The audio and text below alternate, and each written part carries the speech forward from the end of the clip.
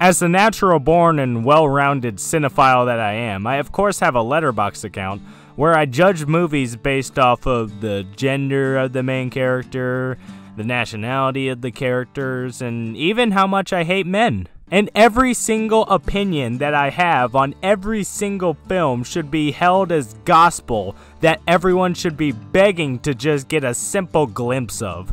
So yeah, I'm pretty much just a typical Letterboxd user. I actually quite like the app because it helps to get as many outside perspectives as possible to compare against your perspective, just so I can have a better understanding of what I think. But most importantly, I like the idea of having all of my opinions on movies in one central place. It has helped me grow in my understanding of film, and even my understanding of what kind of critic I am. And it has also helped me to understand masterpieces such as The Greatest Showman, Max Steel, and also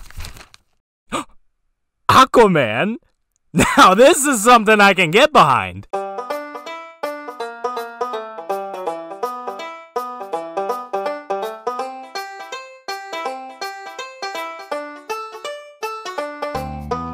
One thing I have tried to work on the most as a film critic is the consistency of my voice. If there's anything that I believe a critic should be, it's consistent. If people see that you contradict yourself constantly, if people see completely different ratings for two movies that are very similar, then I believe it delegitimizes the understanding behind your thoughts. Granted, this is actually something that can happen, but it is very rare and it also makes it confusing for the viewers who usually share your opinions. Now this might seem like a no-brainer, but I have found it very difficult to develop my own distinct voice. But the legitimacy of your opinion can also depend on which ratings you are consistently using on the platform. Usually the first thing I like to look at whenever I enter a new Letterboxd user's domain is the chart that is showing their respective ratings all next to each other. Because let me tell you, there are some interesting statistics for some of these people.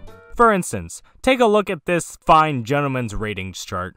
Now, it's quite obvious that this person is much more harsh on most movies that they see than the average person.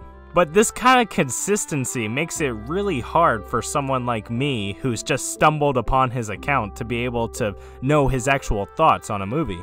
Shawshank Redemption, eh, man, it was alright. Pulp Fiction uh, could have been a bit better. Oh, hey, what is this? Uh, Spirited Away? Oh, yes, yeah, slap that thing with another 6 out of 10. Now, of course, everyone is entitled to their own opinions on all things film, but to me, this kind of rating system makes it hard to judge their actual thoughts. This person is definitely consistent, but the consistency makes it so that films that they would probably highly recommend are pushed to the side by anyone looking at this rating. If I were to guess, they would probably really highly recommend Pulp Fiction, Spirited Away, and Shawshank Redemption, because that is one of the highest ratings that they use very infrequently. You just have to interpret it a little bit. Another example of a weird rating system is from this fine film professor. Now, I don't know about you, but it seems pretty apparent to me that this guy's throwing out 10 out of 10s like candy on Halloween night. Doctor Sleep, heck yeah, best movie I've ever seen in my entire life, 10 out of 10. Ready or not? Oh, yeah, I think it deserves a 10 out of 10. Oh, yeah, perfect movie.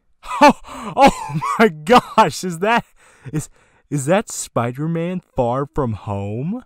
Oh, oh, please tell me I have another 10 out of 10 somewhere. Ah, aha, yes, perfect. Oh my gosh, it, it deserves it more than any other movie I think I've ever seen. Now this is another example of someone who's consistent, but then again, this consistency is just weird. Now, of course, this is just how these people like to measure their enjoyment of film. And this doesn't even mean that these opinions are useless. You might just have to interpret it a little bit more. If this guy rates something 7 out of 10, you know that it's gonna be a grand old time. And if this guy rates something, um, I don't know, a 2 out of 10, then you know it's gonna be the absolute worst piece of crap you've ever seen in your entire life. And this is honestly why I love Letterboxd, because there are just so many people with so many different outlooks on how to judge and criticize films. And come on, let's be honest. My opinion is the only real one on this whole website.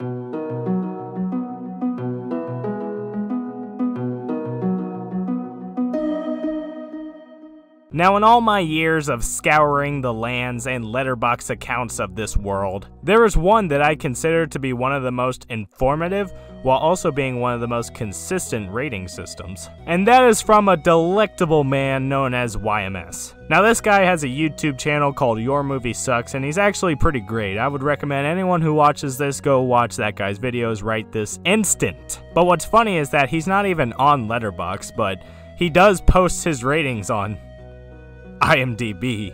Ugh. I'm just so glad that something like Letterboxd exists because I don't think I could look at that interface for very long without having my brain explode. Anyways, a fan has made the effort to transfer all of his ratings to Letterboxd, and it's pretty great to have them on there to compare. The fantastic thing about his rating system is that he has incredibly realistic standards for every single rating 1 through 10. He manages to save his higher ratings for truly exceptional films that go above and beyond in his eyes, and saves his lower ratings for films that are truly diarrhea film. This gives much more levity to the 10 out of 10s and the 1 out of 10s that he dishes out to films he deems worthy. Let's go back to this fine gentleman. If a movie comes out and he rates something a 10 out of 10, I doubt that I'm gonna be as likely to be excited about it as if someone like YMS rates something a 10 out of 10. There are so few movies that he's given 10s and 1s that it shows a very natural progression all the way from 6 to 10 and 4 to 1. His consistency is on point, which shows a lot about how his thoughts on a film translate over to his rating. I always know that whatever number a film gets from him, it's an accurate reflection of his thoughts on the film. Now, I know that this entire video and just all the things that I've said might not seem like to be a very important conversation to be having, but it's just a fun little thing that I have noticed over my career as an illustrious film critic. Alright, now that that's that, I'm gonna go back to arguing with people on Letterboxd.